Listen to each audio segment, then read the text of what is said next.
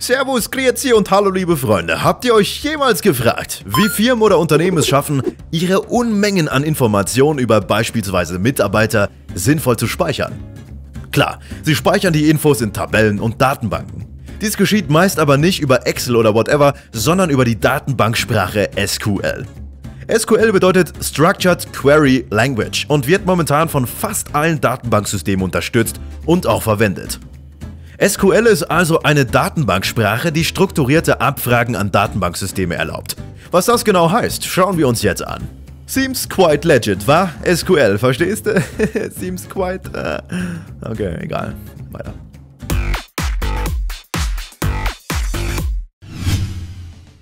Wir wissen ja jetzt schon, dass SQL eine Datenbanksprache ist, aber was bedeutet das genau?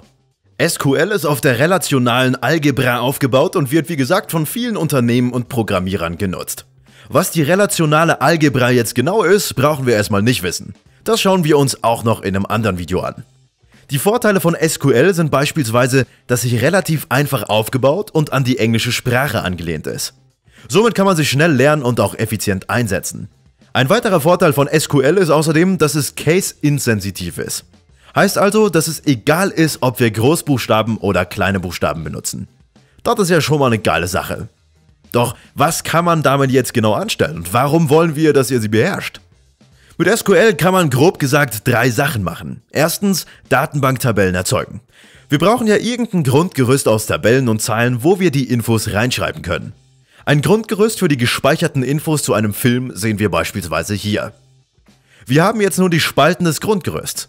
Da steht jetzt zum Beispiel der Name, die Kosten, das Genre und so weiter drin. Diese Spalten werden auch als Attribute bezeichnet. Als zweites kann man mit SQL diese Datenbanken bearbeiten. Der Tabelle wollen wir natürlich auch Informationen übergeben, wäre sonst ja ziemlich sinnlos. In unsere Tabelle Film wollen wir natürlich auch bestimmte Informationen über Filme hinzufügen. Wir könnten jetzt mit SQL zum Beispiel den Film Iron Man in die Tabelle einfügen. Geiler Film. Dazu tragen wir in jeder Spalte einen bestimmten Wert ein. Diese Informationen werden auch als Attributwerte bezeichnet und die neue Zeile enthält somit alle Informationen zu Iron Man. Die ganze Zeile wird jetzt wiederum auch als Tupel bezeichnet. Das heißt also, dass eine Tabelle aus mehreren Tupeln bestehen kann. So, natürlich wollen wir unsere Datenbank auch später noch bearbeiten. Wenn wir beispielsweise die Kosten falsch eingetragen haben und das nun verändern wollen. Hashtag wer es Geld hat, ne? Im Beispiel ändern wir einfach die Kosten von 140 Millionen auf 145 Millionen. Wenn Iron Man nicht mehr in der Datenbank gebraucht wird, weil wir jetzt Hulk oder sonst wen haben, können wir Iron Man natürlich auch aus der Tabelle löschen. Als letzte Eigenschaft können wir mit SQL Abfragen an unsere Datenbank stellen. Was genau bedeuten die Abfragen? Wir haben jetzt beispielsweise Iron Man und Fifty Shades of Grey in der Datenbank stehen. Wir haben jetzt den Auftrag, alle Filme des Genres Erotik auszugeben. Erotik. okay, zurück zu. Also wollen wir mit SQL eine Anfrage an die Datenbank stellen. Als Ausgabe wollen wir alle Filme, die dem Genre Erotik zugeordnet sind. Diese Ausgabe wird in Tabellenform wiedergegeben. In unserem Beispiel kriegen wir also als Ausgabe nur Fifty Shades of Grey. Natürlich könnten wir Fifty Shades of Grey auch dem Genre Horror zuordnen, aber das nur nebenbei.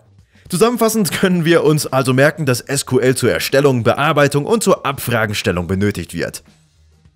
Schauen wir uns doch nochmal an einem anderen Beispiel an, was wir mit SQL genau machen können. Nehmen wir mal an, wir sind ein Firmenchef und wollen alle unsere Mitarbeiter in einer Datenbank speichern. Der erste Schritt ist also mit SQL eine Tabelle zu erstellen, in der wir alle Informationen über unsere Mitarbeiter speichern können. Dies könnte in etwa so aussehen.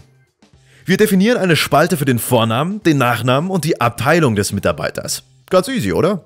Als nächstes möchten wir mit SQL Mitarbeiter in diese Tabelle einfügen. Machen wir es einfach und fügen erstmal nur drei Mitarbeiter mit den jeweiligen Infos ein. Den Hans, den Jochen und die Ursula.